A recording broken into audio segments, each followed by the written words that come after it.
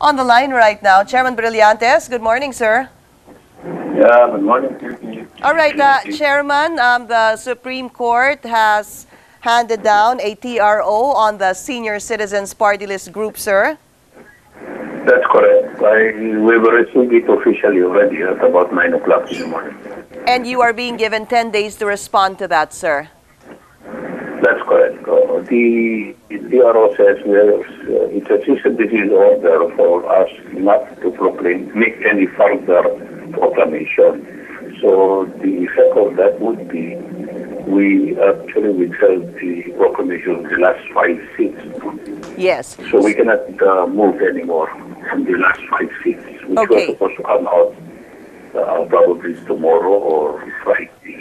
All right. We will not be able to do that anymore. So the remaining five seats, uh, Chairman, will be put on hold. All right, we lost uh, Chairman Sixto Brillantes on the line, but we'll get him back a little later on in the newscast. Breaking news, of course, the Supreme Court has handed down a temporary restraining order on the um, disqualification of the party list group senior citizens. So we'll get more information on that as soon as we get Chairman Brillantes back on the line. Let's uh, talk to uh, Chairman Sixto Brillantes again. He's back on the line. Chairman, good morning again, sir. Nothing here. Sorry, really.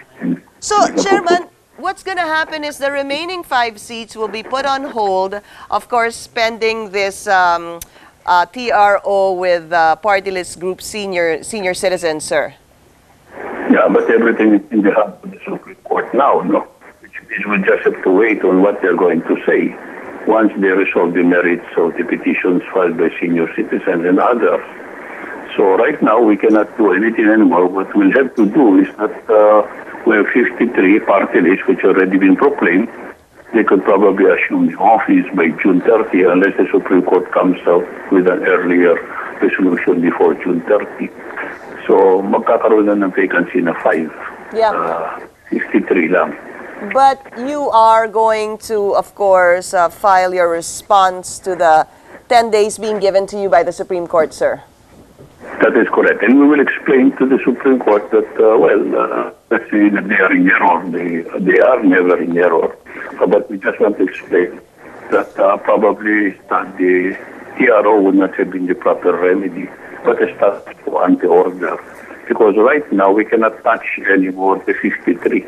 Opo. Regardless of what happens, that they have been proclaimed already. Opo. Unless the Supreme Court says otherwise, hindi na namin pwedeng galawin yung 53. So, yun na lang limang naiiwan. Uh, will have to be determined whether papasok doon ang senior citizen or not.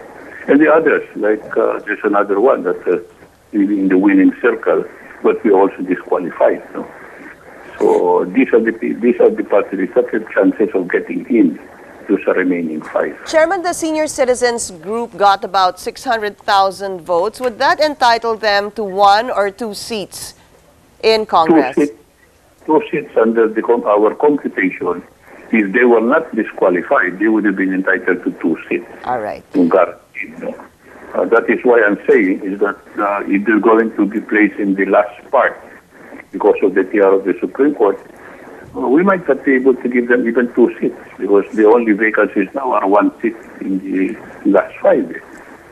So I don't know if we can give them two seats. That's why it would really depend on how the Supreme Court will actually frame their final decision on the matter. Sa merits Apo. of the case. Apa. Um, and um, in the event, in the event, uh, Chairman, that the Supreme Court favors the senior citizens group, do you see the COMELEC questioning this or filing a motion for reconsideration? Yes, we, we intend to, no, no, we intend to file a comment as required under the order. The TRO issued uh, will be until further orders, but we are now being required to submit our comment and we will explain to the Supreme Court how all of these computations will be done and how it will affect whether if they say senior citizen is okay, then we will have to do some recomputations again. We'll just have to explain this to the Supreme Court so that they can have a guide at the very least to come out with uh, the decision on the merits of the case. I'm going to bring up uh, just one comment, sir. I'm sure you've heard it. Bakit naman ganyan si Chairman Sixto Brillante? Senior citizen din naman siya. At hindi, hindi pa niya pinagbibigyan itong mga senior citizens, sir. Eh, hindi naman ako, hindi naman ako senior citizen party. Ayun ang problema eh. Nadi- Nadi-distinguish, I mean, the senior citizen party has taken advantage of the name senior citizen. Hindi naman sila lang ang senior citizen eh. Kaya lang, uh, maybe everybody thought that all of those above 70, they belong already to the senior citizen party. I never voted for the senior citizen, although I am a senior citizen. Yeah. So, wag naman, you have to distinguish the senior citizen, the real senior citizen, from the senior citizen party, which committed uh, some errors and some illegalities, which that's why we disqualified them.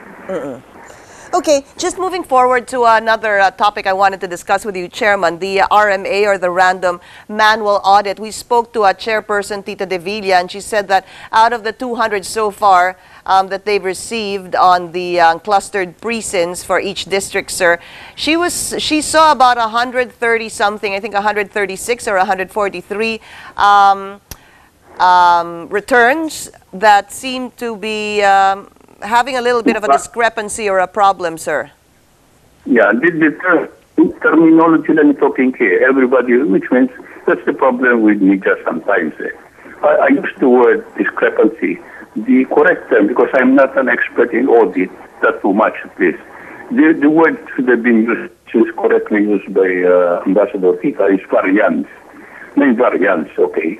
So I use the word discrepancy, which appears to be stronger. Tapos yung headline na pala yung ginamit kong discrepancy. Yeah. Pero okay na.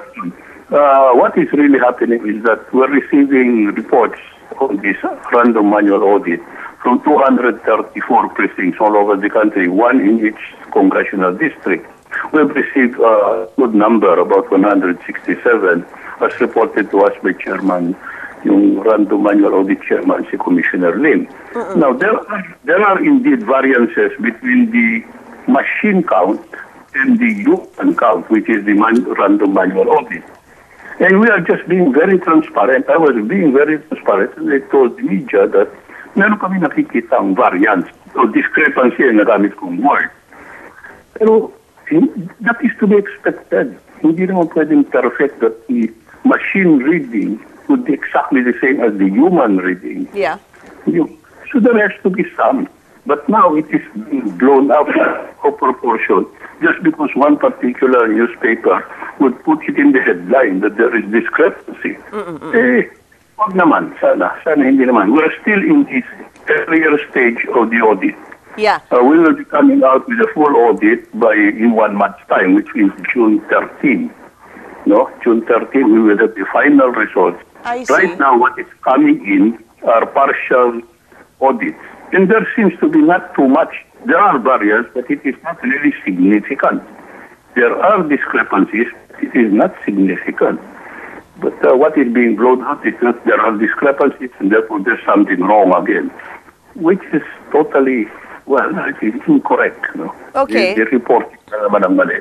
So I guess, Chairman, what's good really is to get the final report on this once you have the 234 um, um, counts or precincts already um, studied and there's a full report on this. Ambas- uh, Chairperson Tita De Villa was saying they're giving um, themselves a deadline of June 22, but you're looking at something even earlier than that, sir. Earlier, yes, because I told uh, Commissioner Lim, who is the head of our RMAT team, said, sabi ko, gawin mo naman one month. I mean, people will start talking already if after one month, which they don't have. At the very least, let's give a major portion of the results. I was asking him if one kung pwedeng weekly updates, ano? Weekly updates. So Opo. that we will not be hiding from the media or for anybody else. So sabi ko, maybe a weekly report.